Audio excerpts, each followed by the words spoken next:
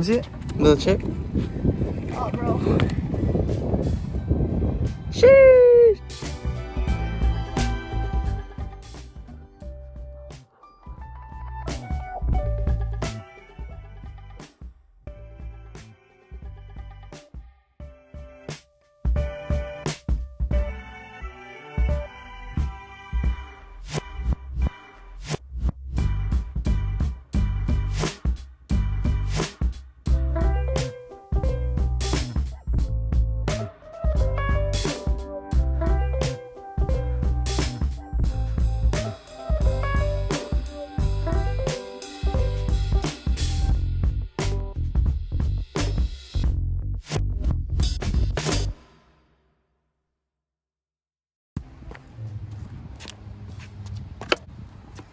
What's up guys? Welcome back to another video. Uh, today is just a quick uh, review on my dinghy.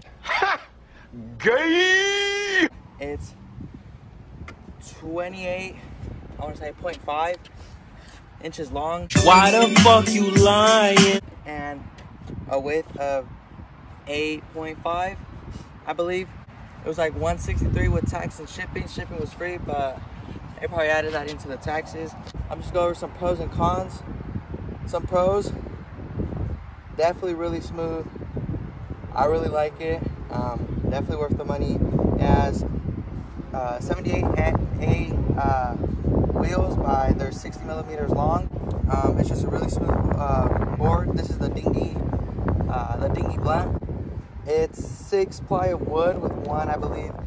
It's like uh, granite, aluminum, or something like that. But it's in the middle to give it more pop and flexibility. Uh, some cons, I would say, would be the the bearings. The bearings definitely took a while to break in, but they're already in the like 20 minutes I've used it. They've definitely gotten better, but fresh out the box, don't expect to go long distances with it. Uh, my second con would be going down. It's not even a hill, but this little section, I got um, some wheel wobble, and I'm gonna wait for this guy to pass. As I was saying, I just got uh, some wheel wobble going down that. Besides that, it goes really smoothly. I really like it. I rode it to the park. Just fun little cruiser. I have uh, my feet have been cushioned this whole time. Uh, you barely feel the, the rocks and stuff. Although I will say, going over some of the some of the bigger cracks, that was rough. Uh, you didn't feel it. Didn't feel like I was gonna fall, but you can definitely feel that though. Would I recommend this board? 110% yes.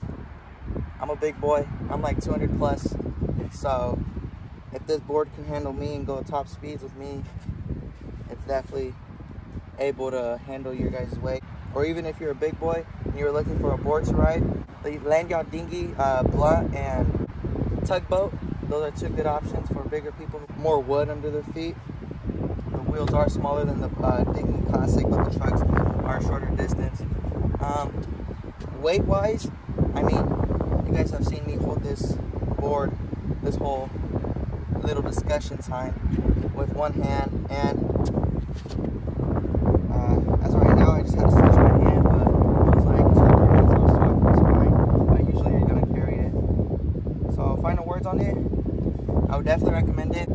I it took six days to come in I ordered it Monday May 10th and got it today Sunday May 16th um, so hopefully you guys like this video. Uh, if this persuaded you into getting this board, uh, make sure to leave a like, comment, and subscribe, and peace out.